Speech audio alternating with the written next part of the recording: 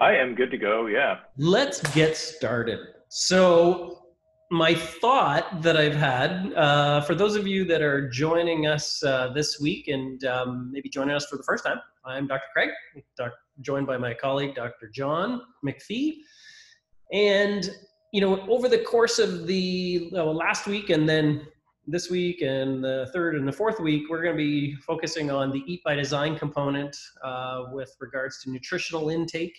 Um, never before, I would say, uh, well, actually, we've been doing these for the last, what, three or four months, I guess, since this uh, COVID pandemic had come about and um, kind of switched from an in class, in office presentations to doing this as a webinar format. And uh, it's going really, really well.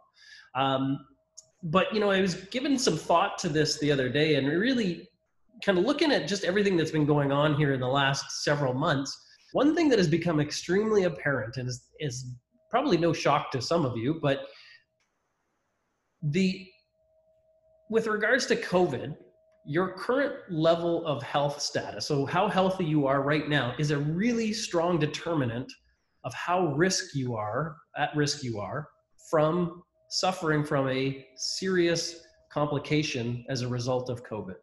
And I say that because, in and of itself, from the data, from everything else, COVID hasn't claimed very many lives or caused a lot of infirmary.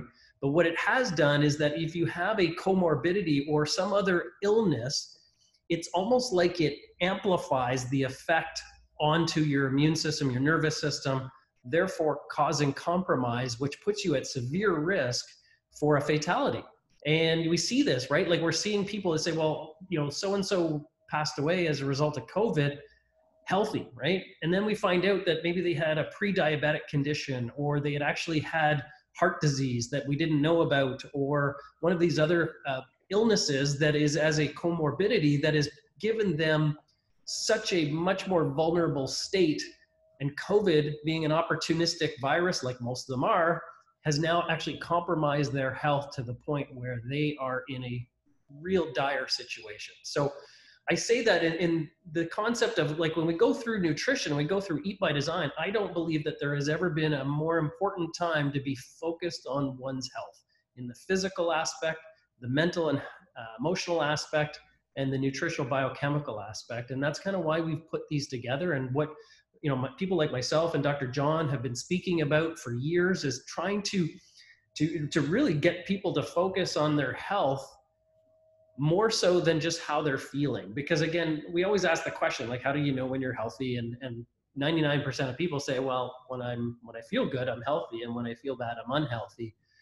And what we realize with covid and and kind of what i was just mentioning about comorbidities is how you feel is not uh, indicative of how healthy you are. Because unfortunately some of uh, people who have had comorbidities and not maybe known about it felt great but then as they encountered covid it started to actually create a real dire situation for them. So i say that with with uh, intention that we want to make sure that as we go through these these uh, sessions we want to really encourage people to really get strongly focused on making their body as healthy and as strong as they possibly can because that has such a huge impact on your resiliency for encountering any kind of illnesses right and that doesn't matter just not just covid it could be anything else that you could be faced with but that's kind of the point. and so when we talk about choices and decisions and we say well yeah but you know i've got a genetic predisposition for diabetes or i've got a genetic predisposition for heart disease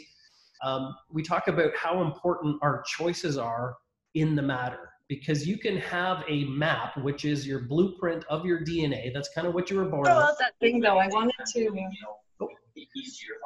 Oh. oh. Uh, sorry, I'm just going to mute a couple. There we go.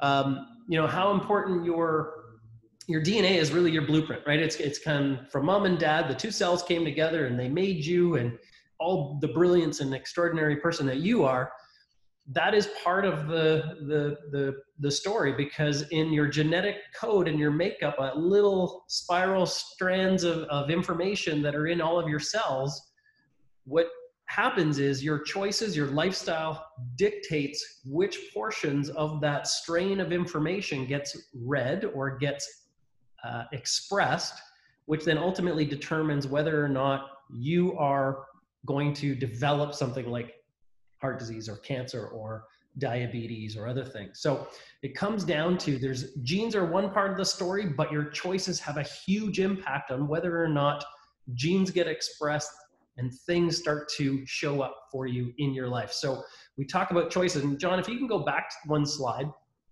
uh, some of you have seen this slide before. This is a famous study called the agouti mouse study. And the agouti mouse is normally that big yellow, uh, healthy looking mouse there on the far left. It's kind of a robust type size. That's the normal genetic makeup for an agouti mouse. Now, what they did is they actually started to provide these mice with a different uh, nutritional intake and the agouti mouse, actually, let me give you a little bit of background. So the agouti mouse reproduces at a really fast rate. Like you can go through seven or eight generations in a matter of just a short period of time. So what happens is they, they, they are born, they rise up to a point in which they can actually breed, they make more babies, so on and so on. So what they did is they took this yellow agouti mouse and they started to provide it with a improper nutritional intake. And what happened was is they started to see changes within their genetic expression.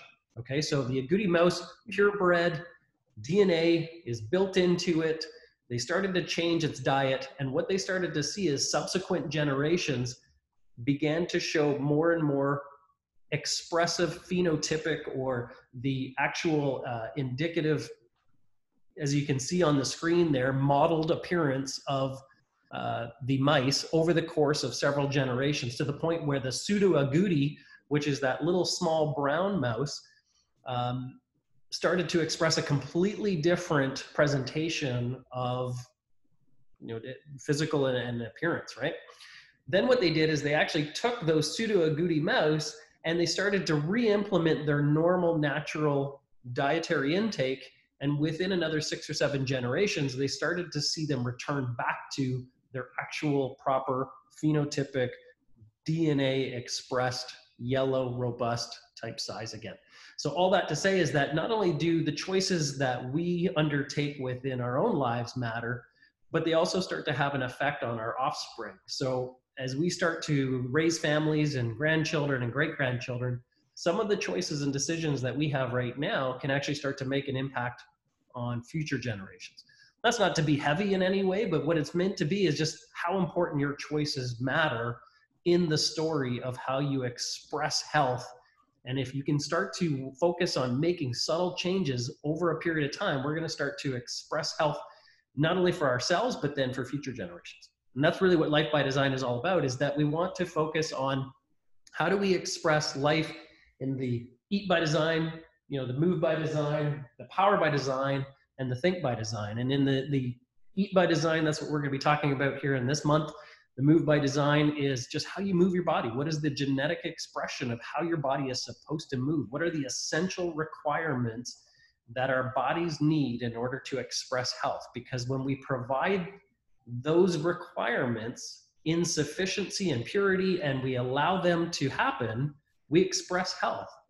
But if we don't, and we provide you know and toxic and insufficiency like if you don't get enough vitamin c we can get scurvy like that's a natural process that happens when you don't provide the body with enough of the essential requirements for it to express health so those are just some simple ideas but and then of course you know the, the think by design is such an important part because how you what your outlook is on the world, what social connections you have, what sense of direction and purpose and other things that you have has a huge impact on your mental state, which then starts to affect the choices. And I always joke and said, have you ever been to the gym where you drive into the parking lot and you sit there and you're trying to talk yourself into going into the gym to work out? So you're sitting there for a few minutes and then you decide, okay, I'm not going to work out today. I'm just going to go home. How does that work out for you? So you go home you sit down you probably eat a meal or a food that you don't really you know doesn't really give you vibrant vibrancy and health. You feel bad about it.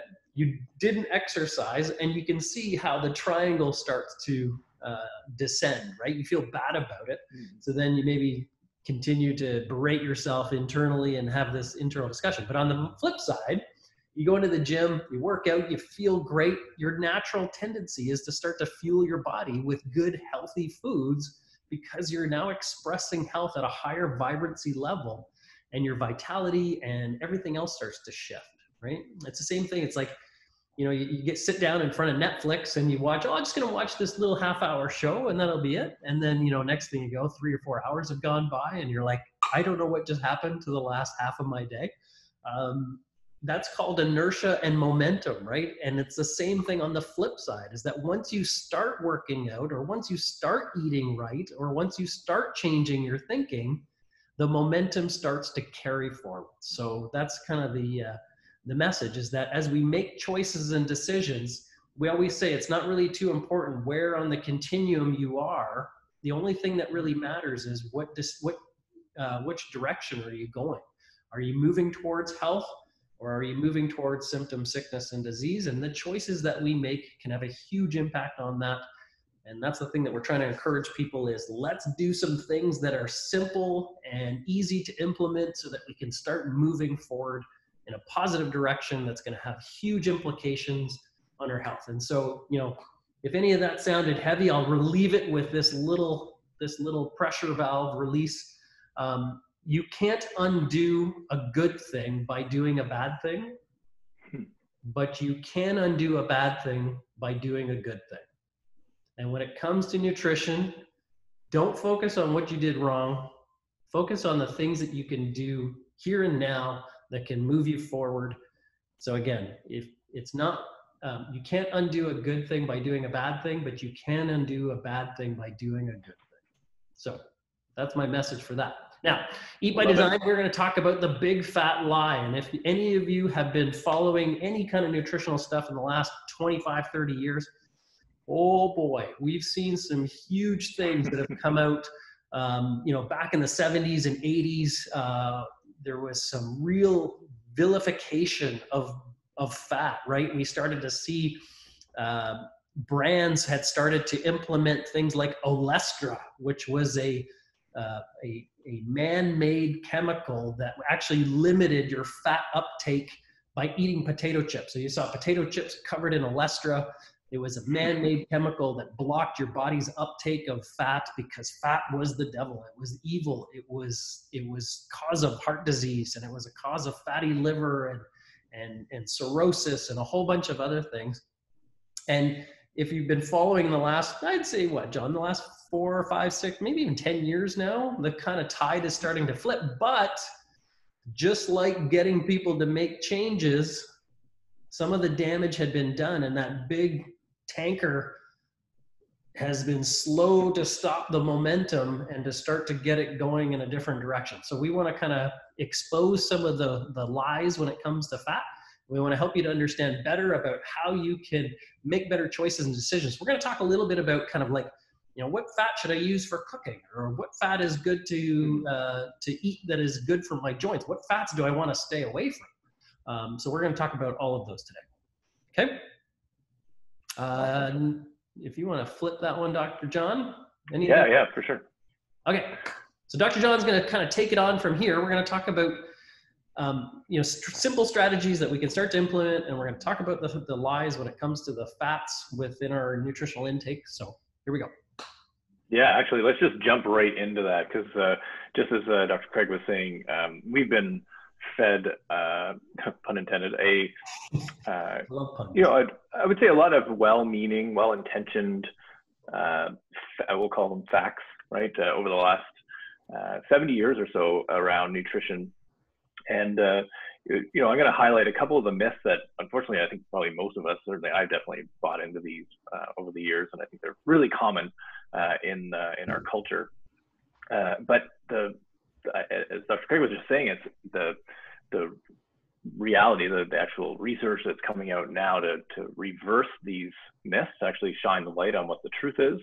Um, it just it takes a long time to uh, turn the boat around, right? It's uh, there's we've had 70 years of moving in one direction where we've been learning this myth, right? That uh, saturated fat makes you fat, It's uh, this one is, um, I, I, I, think, uh, particularly confusing because it's the same word that we use to describe the stuff that we find on our bodies, right? The, uh, the adipose tissue, or the, you know, when we're uh, overweight, we call it fat, right? Um, the fat that builds up on our body. Well, it make it just like it's intuitive, right? Like if I eat fat, it probably just becomes fat on my body. And um, well, that, that can be true. It's not it's not 100% false. If you were to eat, um, you know, a whole lack of fat and not burn those calories, um, then sure, it's gonna it's probably gonna get converted to fat on your body as a, a way of storing energy on your body. Um, but what we what we know now, um, the much bigger driver of uh, weight gain, uh, and actually also with more recently the one of the biggest drivers of maintaining uh, uh overweightness. Okay, so maintaining a, a higher than normal weight. Uh, a lot of people really struggle at losing weight, and the, the key factor is inflammation. Um, inflammation is actually the um, you know, a normal process in the body. I won't go down, I won't go too deep into the uh, biochemistry here, but you know, inflammation is normal, um, or normal inflammation is normal.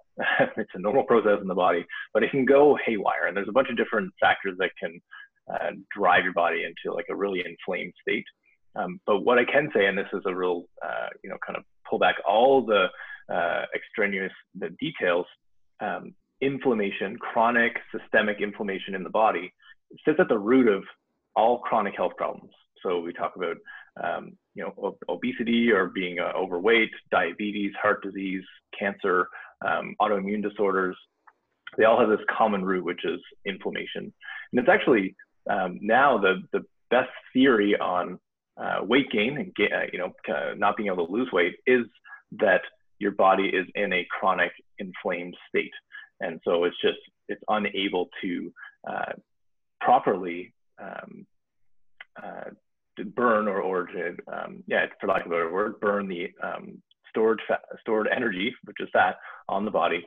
Um, and it also is uh, because inflammation represents stress. Uh, stress, uh, you can imagine back in the day, if we were under a lot of stress, your body wanted to store fat, um, store energy, and store it as fat so that you had energy in the future because um, you never knew when you were going to get your next meal.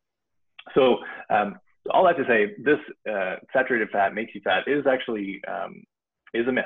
Okay, there's no uh, there's no, nothing about eating fat itself that um, turns it into fat on your body.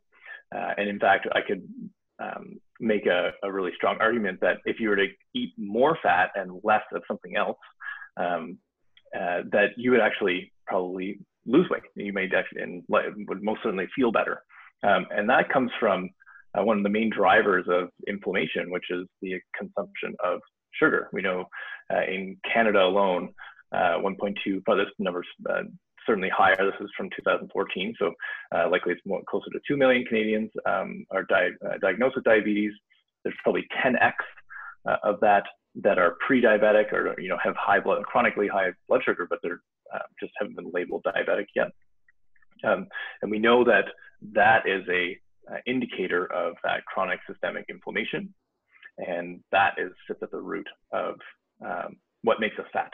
So um, we know that when we eat saturated fat, actually, I would say, uh, I, well, I'll just jump in right into this. The, the myth number two here is that saturated fat um, is a is a cause of death, right? And this is something that like way more serious um, uh, allegation against saturated fat that, it's, cause, it's the main cause of heart disease, um, we know that in Canada, there's uh, you know upwards of 50,000 Canadians, uh, Canadians that die every year of heart disease. So this is a big problem, uh, and we want to know well, well what's uh, you know what role, if anything, does saturated fat play in uh, the, the development of heart disease? And uh, unfortunately, we can go way back um, into the history of nutritional science, and this guy, who definitely deserves to be made fun of here um, with this caricature. Uh, his name is Ancel Keys, and he actually, uh, the, the, quote you can't see on there, I apologize, it says artery clogging saturated fat. So he kind of coined this term, um, attaching the idea of um, saturated fat literally fills up your arteries and um, causes the you know blood flow to get disrupted to the heart, and then that causes heart attacks. Um, and uh, he was the, the main proponent of this argument and became like quite a famous researcher uh, and a, long story short, it turns out that uh, in the 80s, what uh, Dr. Craig was referring to, um, is it came out that he had um, performed and a lot of his early studies that laid the foundation for this um, was wrought with uh, fraud. There's just tons of fraud. Um, he had uh, of um, not used data that was available um, that contradicted his um, his statements. He actually, um, uh, in one particular study, the most uh, the biggest uh, I guess episode of fraud is that he had a whole bunch of different data from a bunch of different countries, uh, over 30 countries, and he just selected the seven countries that um, showed a nice relationship between eating saturated fat and heart disease. And he eliminated all the countries that didn't match his uh, hypothesis. So um, he's one of the main reasons, the reason why I include him here is because he's actually one of the main reasons why each of us have been taught that saturated fat is bad. Um, but of course, now we have um, you know, over the last 30, 40 years, there's been uh, the low fat craze. We have uh, all these products on the market that um, are touted as being healthy because they don't have saturated fat. But what's happened is that as a, you know, fat is something that our body, our brains really like and our, our taste buds really like. So we've reduced saturated fat, particularly from animals, and we've increased um, the, how much uh, vegetable oils, so things like uh, canola oil, um, uh, like the industrial uh, processed oils from seeds. Um, and uh, soy oil is another example. Um, there's a there's a whole bunch of them, but those are actually uh, way way more problematic for the body. So we've we've cut out the food that is potentially healthy, and we've dramatically increased the the, the food type that is really um, it drives inflammation in the body. So we know that uh, these large scale um, industrial seed uh, oil production, that those oils are actually quite toxic in the body. Uh, especially when we cook with them, uh, they are really unstable, and so they become really uh, uh, difficult for the body to uh, digest, um, and they create inflammation in the gut, and that can extend to the body itself. Um, we also know that along with all this low fat craze, we've seen this major spike in heart disease, especially in North America, and we have this epidemic of chronic disease. So there's a whole bunch of unanswered questions there about um, saturated fat.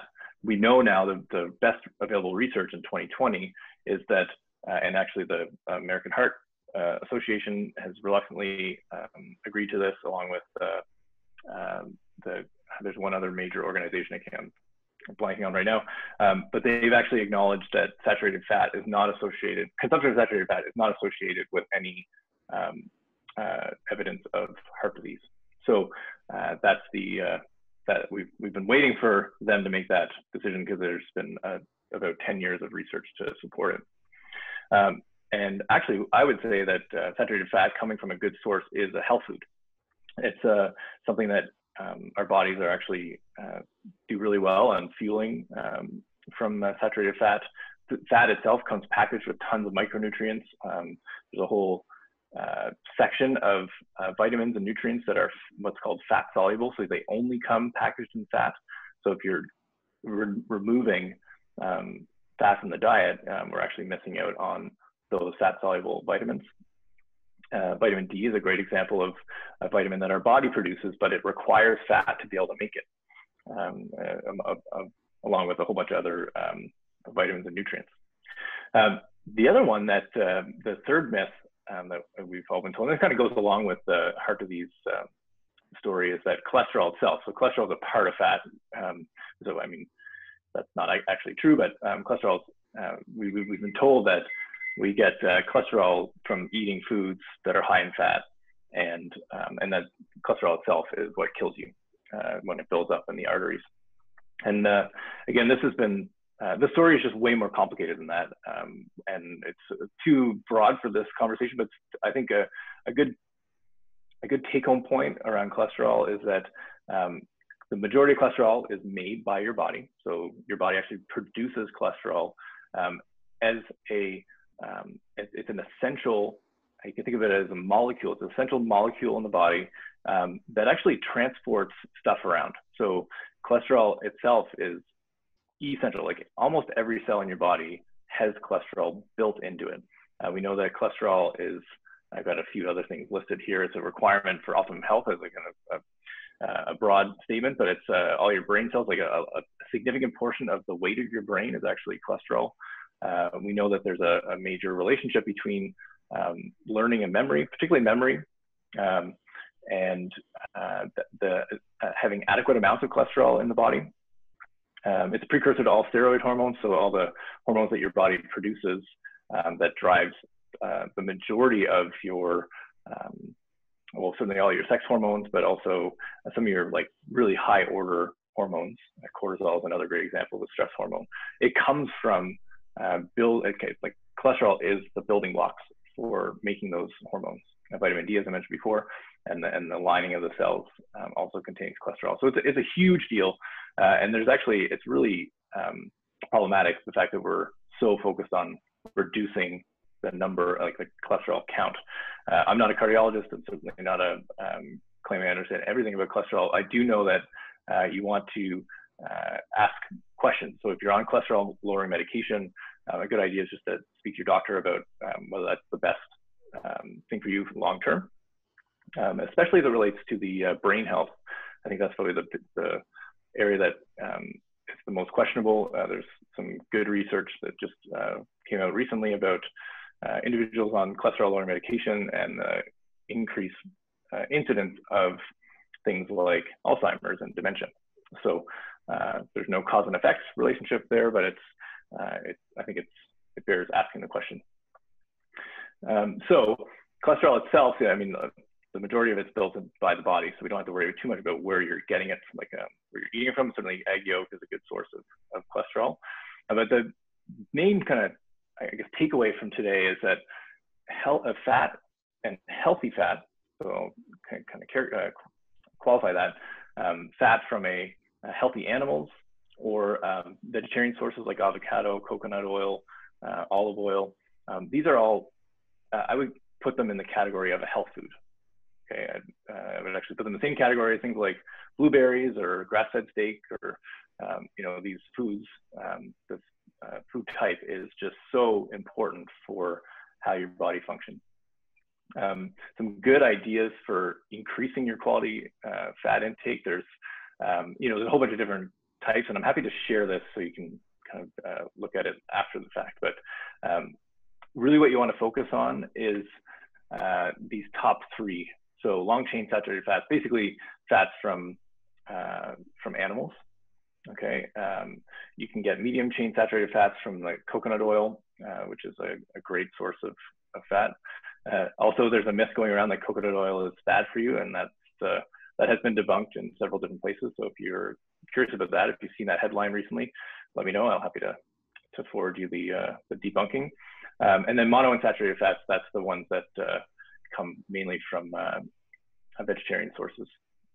Um, so eating lots of those fats, I think uh, if you, uh, when you're building your plate, actually think of, okay, first protein. So protein is uh, building every plate, plate around a protein, and then what kind of fat can you add to that?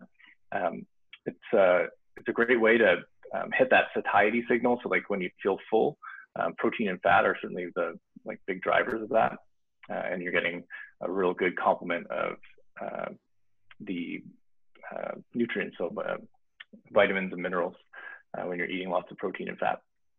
Um, the other one that we often hear about is polyunsaturated fats. These are the, uh, the keywords here, like the omega-3, omega-6. Um, the big thing here is you just want to get lots of omega-3s, omega-6s, um, so omega threes are, I mean, you often see this as uh, fish oil. So we, this is how we uh, choose to help people with this one. Um, just take a high quality fish oil supplement. It does come in all kind of grass fed animals or pasture raised animals have good amounts of omega threes.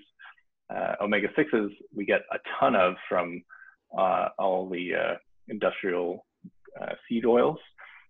and often, even though we want to get a ratio of one to one roughly of these, a lot of North Americans are walking around, you know, with a ratio of like one to 40, one to 20. So um, that really drives inflammation in the body. Um, so that uh, gives you a, a good kind of overall sense. I think if I hit the take home point, it's um, for most of us, increasing the amount of fat that you're eating and, and just being conscious of the, where you're choosing it from. Um, uh, having a good variety, so eating both animal and vegetarian sources, and uh, and and and then just uh, if you yourself are on any um, cholesterol lowering medications or if you know someone who is, um, you just suggest that they um, speak with their medical doctor because I, I think there's uh, you want to make sure that there's a, a good positive benefit um, because there are, are, definitely some costs there. Anything to add there, Craig? Uh, actually, if you um, can pause your share screen, I'm going to share one. Sure. Uh, I wanted to just kind of touch on something that you were speaking on that I think is huge. And that is, um, you, you kind of went through the concept of stress. And I think it's important to understand in an acute stress response. So you're down by the water, you're having a great time, have a nice little picnic, and then out jumps a bear your body goes into a sympathetic fight or flight state. And all of these things, this is a really busy slide, but this is going to help you to understand a little bit more about what Dr. John was talking about when it comes to inflammation is actually by far the most worst thing that you can have for your health. I think you can you can honestly probably narrow down almost every single illness in mankind to one of two things. Your inability to regulate your inflammation levels and your inability to regulate your blood sugar levels. So if you look at this response, this is what happens immediately when your nervous system goes into an acute stress response. You get cortisol, which is your stress hormones. You get catecholamines, which are your adrenaline and other types of hormones. Your heart rate goes up. Your vasoconstriction, so your blood pressure is going to go up. Your blood glucose levels go up. Grow, uh, go up. your blood profile, like your lipids, so your fats start to circulate, your triglycerides actually start to circulate through your bloodstream. Uh, your blood cholesterol goes up. Your LDL, which is the bad cholesterol, and I put that in quotation marks because there's no such thing as bad or good, there just is. The increased uh, low density lipoproteins, which are the bad cholesterol uh, for the purpose of conversation, those are the ones that make up the big backbone of all your, your stress hormones, right? And they also have a huge impact on wound clotting. So if the bear bites you, you're going to need to close up that wound as quick as possible. And LDL is a huge impact on clotting factors for making that happen. Your HDL is the one that scoops up all of the, the cholesterol that's in your body and it brings it back to the liver for recycling and kind of brings those triglycerides and other things back for recycling, right? Your clotting factors go up, so your blood gets stickier, it gets a little bit more syrupy. Um, your protein degradation of muscle and connective tissue. Why? Because if you're going to fight the bear, you're going to burn through some muscle tissue and connective tissue to have higher levels of strength. Your insulin resistance, you don't want blood going into, um, uh, staying into like into your you want it immediately for your muscle contraction. So your insulin goes up but your ability to uptake it goes down. So your blood glucose levels as we talked about goes up. You have increased feelings of stress fear and anxiety. Why? Because you're not meant to feel good in that moment. You're meant to look for ways to escape and to fight. Your memory goes down. You're not going to think about long division when a bear's chasing you. You don't feel good, so your serotonin drops, et cetera, et cetera. So all of that to say, how are we looking on the left-hand side for heart disease? How are we looking for high blood pressure, high cholesterol levels? Mm-hmm. Those are normal when your body's in acute stress response. We don't have bears chasing us most of the time, but what we have is families, finances, COVID, uh, pandemic lockdowns. We've got all of these situations that are raising our acute stress responses and yes, our cholesterol goes up because it's a natural byproduct about it. So, all that to say is, it really comes down to your stress response. We don't want to add more stress to our bodies by not moving, not eating, and not thinking in a proper manner, which is going to cause us to go into a more chronic stress response, which is very, very damaging for our health. So, all that to say is that yes, choices matter and how you make choices with your food and your nutrition has a huge impact and you can start to unwind this response by bringing your body back into a state of balance power by design helps us to get our nervous systems back into a calm state so that we can get the parasympathetic we can get the brakes pumping on the acute stress response and we can slow down the impact of our cortisol. So the, the other side of that is that when we get into a a parasympathetic, which is our brake system in our nervous systems. We decrease our cortisol, we decrease our catecholamines, we decrease heart rate, vasoconstriction, blood pressure, glucose, cholesterol, all of that. Combine that with providing your body the essential requirements to move, eat, and think, and you're starting to win and you're starting to move in the right direction. Hope that helps to clarify awesome. and to tie a bunch of stuff together. So choices matter. Now, if you have questions, by the way, I don't think we mentioned this, but if you have questions, feel free to pump those into the uh, chat box there. And um, John, anything we, we do have a question. Okay. Yeah, well, I'll just address this question um, from Carol. Uh, she asks, um, what is the best oil to use in cooking? Um, and uh, so, yeah, I think that's great, uh, uh, great question. And good, you definitely want to be um, choosing, I, I, would say, uh, public service announcement, like just throw out any of the um, those industrial seed oils. So um, I, I, always uh, blank on a few of them, but there's soy, there's canola, there's uh, rapeseed, there's um, flax. Flax isn't as bad actually, um, but uh, canola and soy are the two biggest ones that we see in the market. Uh, get rid of those. Um, for cooking, I have like a good quality uh, extra virgin olive oil. It's great for cooking. Uh, cooks at high temperature. Just use it only once, so you don't want to be repeating uh, use of uh, olive oil. Um, same thing goes with coconut oil. It's really stable at high temperatures. Uh, adds a really nice flavor. Um, so I, I, usually stick to those two. The other ones that are great to use um, I, I, if I have good quality bacon, then I'll save the fat and I'll cook with it later. Uh, same thing goes. Um, there's a uh, a local butcher here that uh, I get duck fat from occasionally, and that's delicious. Making uh, cooking some uh, vegetables and, and, duck fat is is awesome. Um, so th those are a few uh, suggestions for you. But I think go-tos, good quality olive oil and coconut oil are are great ones to just have on the counter. Uh, any other questions? You're welcome to uh, unmute yourself and say it verbally, or you can add in the chat. I think we're going to lose this um, connection here momentarily. So, uh, last call for questions. Um,